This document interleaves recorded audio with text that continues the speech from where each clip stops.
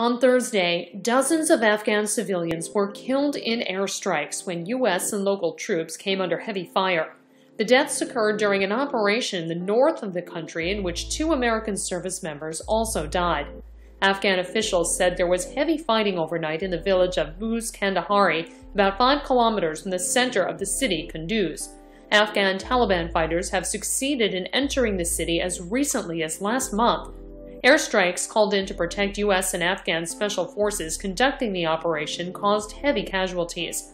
Adding that dozens had been wounded, the governor of Kunduz said, Unfortunately, more than 30 civilians, including women and children, were killed during the fighting. This was a horrible incident.